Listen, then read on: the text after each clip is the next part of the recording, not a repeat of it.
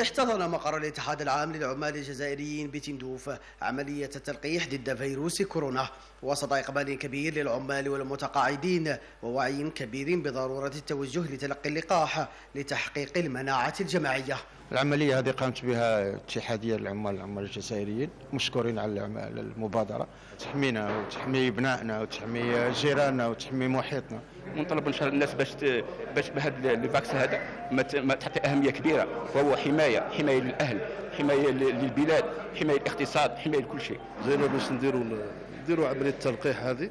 والحمد لله تمت في ظروف حسنة وفي تنظيم حسن. نقول للمواطنين كاع يجوا يلقوا هذا مرض خطير والتلقيح لازم لازم باش نحموا نفوسنا واولادنا وعائلتنا. الرسالة التي نوجهها للمواطنين هو الحضور بكثافة.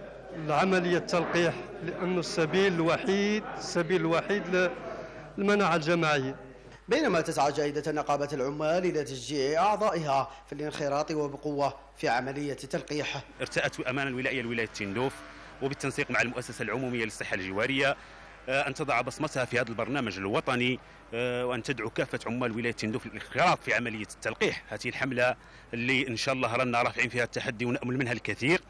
وكونها الحل الوحيد اللي بين أيدينا حاليا في بيئة مهما سعيت أن تتخذ من الوقاية سلاحا لازم يواكبوا اللقاح. لتبقى اتباع تدابير الوقاية وتلقي اللقاح السبيل الأنجع لحماية وسلامة صحة المواطنين.